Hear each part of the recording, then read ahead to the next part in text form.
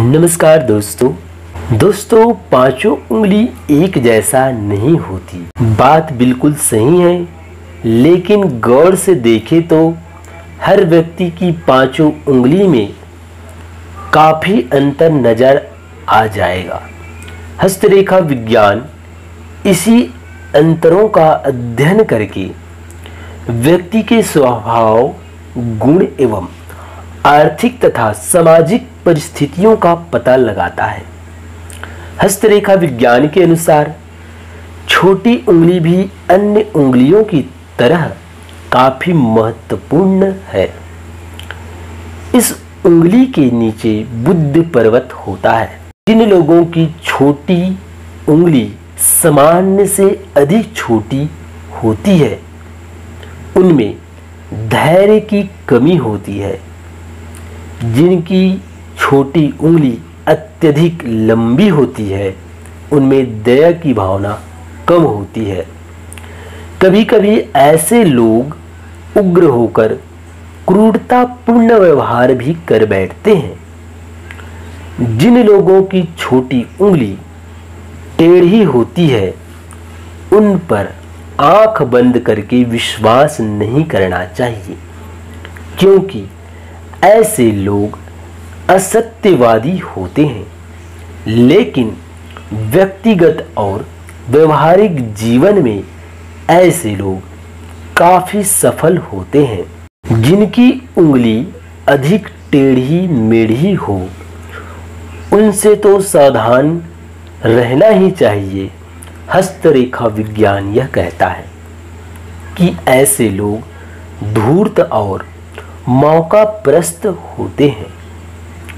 जिन लोगों की छोटी उंगली अनामिका उंगली के नाखून तक पहुँच जाती है, ऐसे व्यक्ति लक्ष्य के प्रति समर्पित होते हैं और अपने लक्ष्य को पाने में सफल होते हैं। हस्तरेखा विज्ञान के अनुसार ऐसे व्यक्ति कुशल प्रशासक, उद्योगपति, चिकित्सक, कवि पत्रकार अथवा इंजीनियर हो सकते हैं। छोटे उंगली यदि अनामिका उंगली के सबसे ऊपरी पोर से अधिक हिस्से तक पहुँच रही है तो यह बहुत ही शुभ संकेत है। ऐसे लोग जिन क्षेत्र से जुड़े हुए होते हैं, उनमें उच्च पद तक पहुँचते हैं। प्रशासनिक अधिकारी अथवा सफल व्यवसायी हो सकते हैं। ऐसे लोगों को जीवन में कभी भी धन की कमी का सामना नहीं करना पड़ता। यह मितभाषी, नम्र और व्यवहार कुशल होते हैं।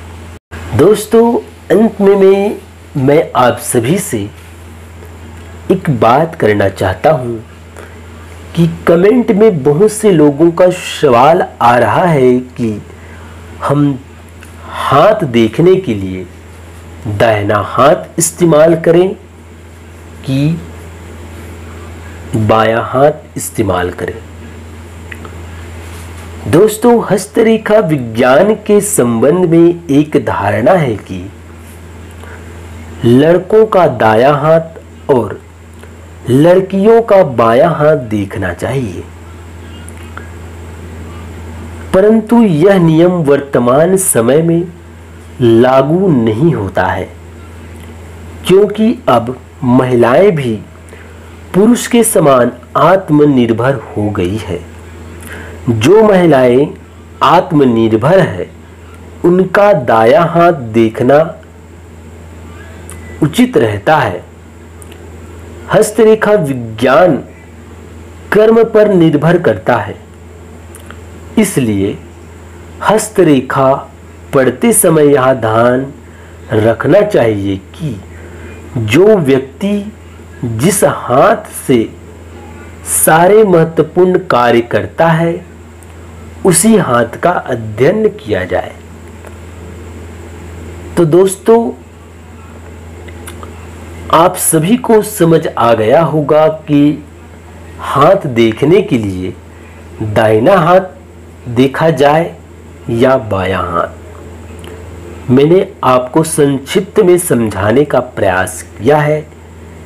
यदि समझ गए हैं तो इस वीडियो को लाइक करें, ज़्यादा से ज़्यादा शेयर करें और वीडियो देखने के लिए आप सभी को हृदय की गहराई से बहुत बहुत धन्यवाद। जय श्री राम।